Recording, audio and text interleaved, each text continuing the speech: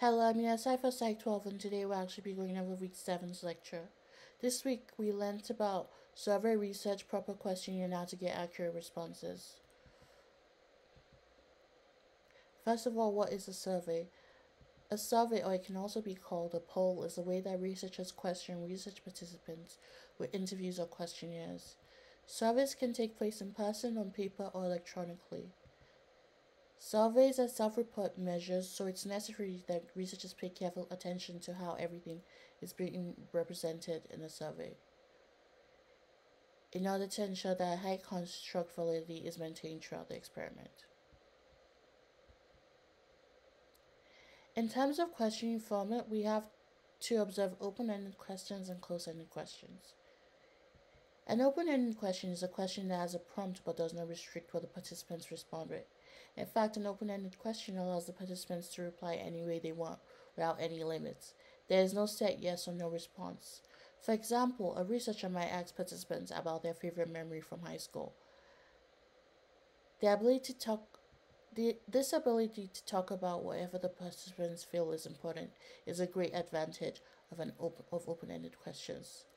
But a major flaw of open-ended questions is that it is hard to measure the exact subject that a researcher is attempting to study since the answers vary a lot. On the other hand, we have a close-ended question. A close-ended question is a question that limits people's response by making them choose between previously specified options, such as yes or no. For example, a researcher asks a group of participants which color they prefer the most, but only gives them red, blue, and yellow as possible answers.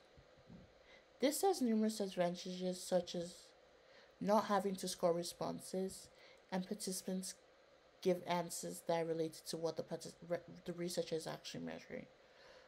But it has a major disadvantage in the fact that it may not truly align with what the participant truly thinks.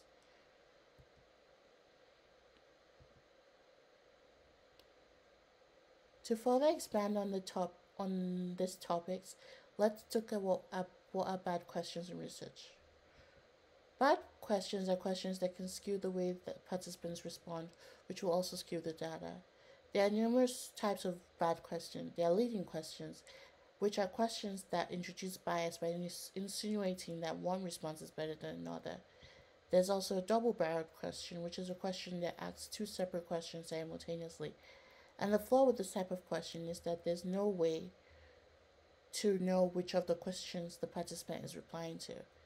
There are also negatively rewarded questions, which, as the name implies, uses negations such as not, never, shouldn't, wouldn't, and, subs- and subsequently makes it harder for participants to understand the true question being asked. Although this is not a specific question type, it is important to note that the way that questions are ordered can also skew the participants' responses. Now we'll be looking at how participants may respond to a survey. Specifically, we'll, we'll be looking at what response sets are. The term response sets, which is also known as non-differentiation, refers to when participants try to make the process go by, go by faster by treating all the questions the same or answering in a manner that doesn't reflect their true opinions. There's acquiescence, where the participants uh, is just agreeing to each question without critically thinking about the response. There's fence-sitting, where the participant keeps giving an answer that does not pick any sides and is just completely neutral. In order to solve for responses, researchers can do numerous things. Firstly, they can remove neutral options, forcing participants to make a choice which gets rid of fence-sitting.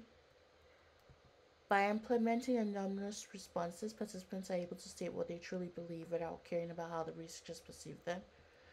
Through reverse word questions, people are forced to not rush through the questions and actually cr critically think about the response. Lastly, by making questions easy for participants to understand and answer, it is then possible for participants to comprehend questions better. That is all for this week. Thank you.